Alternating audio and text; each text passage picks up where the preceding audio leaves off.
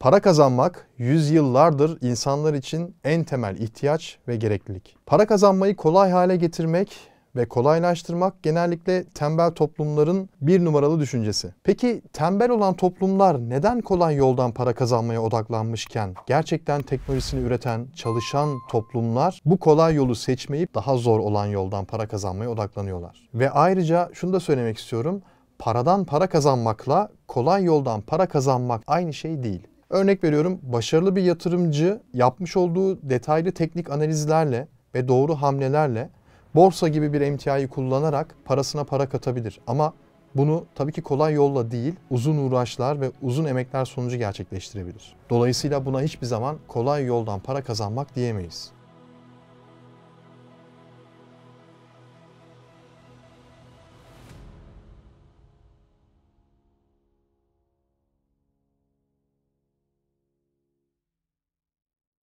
iPhone 14 marka cep telefonunu %50 indirimle satın alan ve ürünü teslim aldığında dolandırıldığını anlayan kişiyle 5000 TL parama bir gecede %100 değer kazandırayım diyen kişinin bence psikolojisi tamamen aynı. Her ne iş olursa olsun ne iş yaparsanız yapın, yaptığınız işe eğer emek vermezseniz, eğer o işe odaklanmazsanız, alnınızın teri ile ve hatta beyninizin her bir hücresiyle emek vermemişseniz gerçekten o iş sizin için mantıklı bir iş değildir. Olması gereken ve odaklanacağımız nokta tamamen yaptığımız işin aslında en temellerine kadar inebilmek. O işe odaklanmak. Gerçekten para kazanmak kolay değil. Kolay yoldan para kazanmak kolay insanların işi. Zor olan zaten işin kendisidir.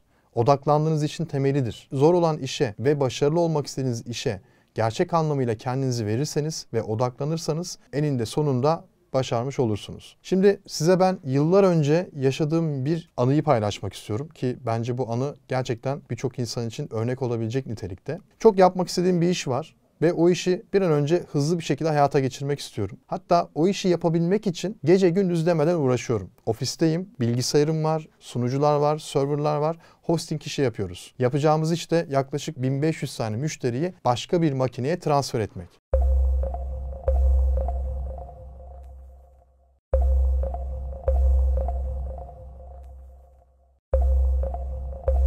İlk yaptığım iş neydi biliyor musunuz? İlk olarak bir yazılım aradım. Dedim ki ya bir yazılım olsun, bütün bu müşterileri alsın, olduğu gibi kopyalayıp buraya aktarsın. Yaklaşık olarak 6 saat 7 saat o yazılımı aramakla geçirdim, uğraştım. Sonra bu işin başarılı olduğunu gördüm ve 1500 tane müşteriyi çok kolay bir şekilde oraya aktardım. Her şey güzeldi ama teknik anlamda bazı şeyler eksikti. Sonra fark ettim ki bu şişirilmiş yani hızlı bir şekilde çözmek istediğim iş sonuç ve nihai olarak başarıya ulaşmadı. Başarıya ulaşmadığı için de bir dünya para kaybettik. Peki ben bu işi şöyle yapsaydım Öncesinde bir fizibilite çalışsaydım ben bu müşterileri oraya nasıl taşırım? Manuel mi taşımalıyım? Yoksa yazılıma taşıyacaksam da bunu bir test ortamında yani canlı ortamda değil de test ortamında yapıp bir denemesini yapsaydım. Biraz emek verseydim, üzerine biraz düşünseydim. E, o zaman sorun olacak mıydı? Olacaksa bile en azından müşterileri etkilemeden bu işi başarmış olacaktım. Ancak ben öyle yapmadım. İşin kolay yolunu seçtim ve kolay yoldan işi bitirmeye çalıştım. Dikkat ederseniz burada para kazanmakla alakalı bir şey söylemedim. İşi kolay yapmakla alakalı bir şey söyledim. Her işin, verdiğiniz her emeğin kolay olma yöntemi elbette olabilir. Ama siz kolaya kaçmak ve basite kaçmaya odaklandığınız zaman emin olun o iş çok kaliteli bir iş olmayacak, şişme bir balon olacak aslında. Özellikle günümüzde ticaret yapan, para kazanmak için birçok para kazanma kaynağını araştıran birçok girişimcinin Google'a yazdığı en büyük kelime ne biliyor musunuz? İnternetten para kazanmak. Bakın bu çok önemli. İnternetten para kazanmak. Şimdi internetten para kazanmak yazdığında YouTube'a yazın mesela şimdi internetten para kazanmak diye.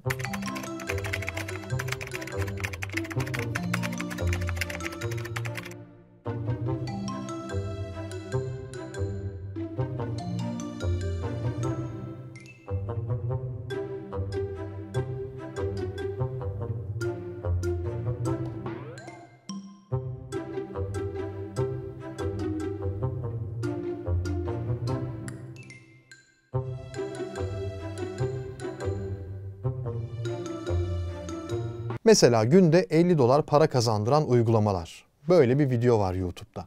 Şimdi açıp izlediğin zaman elbette yapılabilecek bir takım fikirler görüyorsun ama günde 50 dolar kazandırıyor mu? Gerçekten bu kadar kolay mı? Yani bu işler bu kadar kolay mı? Bir tanesi de her dakika 8 dolar kazan diyor. Ya şimdi her dakika Sen 8 dolar kazanıyorsan anneni, babanı, kardeşini, abini, akrabalarını, 7 sülaleni her dakika 8 dolar kazanacak bir metotla bilgilendir. Hepsi birden 1 dakikada 8 dolar kazansın. E, dolayısıyla sana %50'sini ödesinler bu iş fikrini verdiğin için. Kendi ailende, kendi işinde bu işi büyüt. Niye insanlarla paylaşıyorsun? Burada bir mantıksızlık var. Bakın kolay yoldan para kazanma ağına düşen bir insanı kandırmanın en kolay yolu şu kadar dakikada, şu kadar saatte, şu kadar para kazan demek.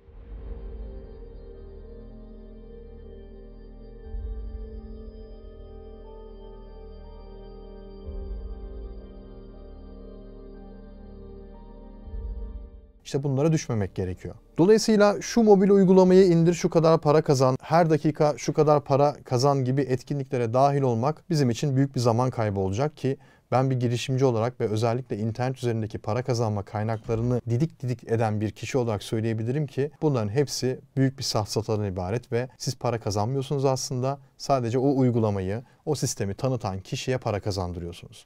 Dolayısıyla böyle bir dünya yok. Gerçekten emek vermek, gerçekten alın teri dökmek ve gerçekten de uğraşı getirecek işlere odaklanmak gerekiyor. Siz uğraşmıyorsanız ve gerçekten uğraşmadığınız bir işe büyük bir yatırım yapıyorsanız emin olun bana büyük bir kaybın eşiğindesiniz demek. Şimdi ben bununla ilgili de elimdeki bütün kaynakları kullanarak ve elimdeki birçok içeriği kullanarak farklı içerikler üretmeye başladım. Bunları da yakın zamanda hem YouTube kanalımda hem de hemen şu yukarıda ya da aşağıda bir yerde yazacağım. Instagram sayfamda abone olabilirsiniz. Orada paylaşmaya başlayacağım. E, buradaki amacım tabii ki emek vermeden hızlı para kazanma yöntemleri değil. Tamamen emek vererek neler yapabiliriz, uğraşarak neler yapabiliriz bunlara odaklanmak. Şu an Türkiye'de ne yazık ki ekonomik koşullardan ötürü özellikle evinde çalışarak para kazanmak isteyen sayısı çok fazla. Dolayısıyla e, bu tarz tuzaklar da çok fazla. Sizi tuzağa düşürmeden sizi gerçek anlamda odaklanabileceğiniz ciddi işlerle uğraştırabilecek mekanizmalar mevcut. Bunları tabii araştırdığınız zaman ki araştırırken öyle parlak cümleler kullanmamanız gerekiyor ki özellikle çok güldüm geçenlerde işte yapay zekaya, chat, chat GPT'ye içerik yazdırarak ya da iş yaptırarak bunu Upwork'te satma fikri geliştirmişler mesela. Baya saçma geldi bana. Dolayısıyla bu tarz aldatmacalara girmeden mantıklı neler yapabiliriz? Ben bunları sizin için derliyorum. Yarısındayım, bitirmek üzereyim. Bittiği zaman hem bu YouTube kanalında hem de Instagram sayfamda paylaştığım sayfada düzenli olarak paylaşacağım. Umuyorum herkes için faydalı olur ve özellikle sizin de ciddi anlamda para kazandığınız ve uğraşarak, uğraşı ve beceri göstererek yaptığınız bir iş varsa da lütfen aşağıda yorumlar bölümünde paylaşmayı unutmayın. Ben de oradan fikirleri alıp yine insanlarla severek paylaşırım. Kendinize çok iyi bakın. Hoşçakalın.